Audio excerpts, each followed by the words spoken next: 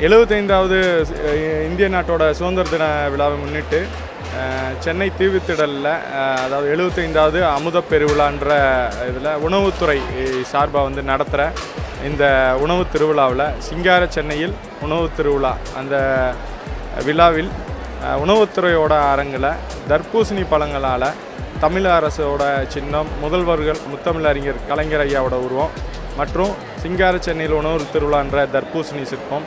அது இல்லாமல் திருக்குறள் அதற்கப்புறம் வந்து உணவு சம்பந்தமான விழிப்புணர்வுகள் அதாவது ரீயூஸ்டு ஆயிலை பற்றிய விழிப்புணர்வு வா வாசகங்களை தர்பூசணியில் சிற்பங்களாக செதுக்கியிருக்கு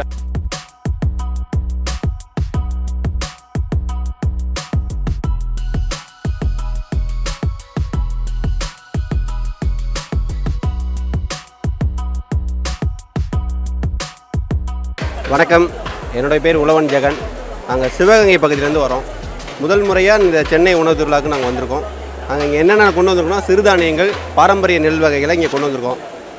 பாரம்பரிய நெல் ரகங்களில் நிறைய மருத்துவ குணம் உண்டு. இப்போ ஒவ்வொரு அரிசிக்கும் ஒரு முக்கியத்துவம் உண்டு. இப்போ உதாரணத்துக்கு மாப்பிள்ளை சம்பா அப்படின்னா இளம் வயது உள்ள ஆண்கள் வந்து மாப்பிள்ளை சம்பா நெல் ரகங்களை சாப்பிடுவாங்க.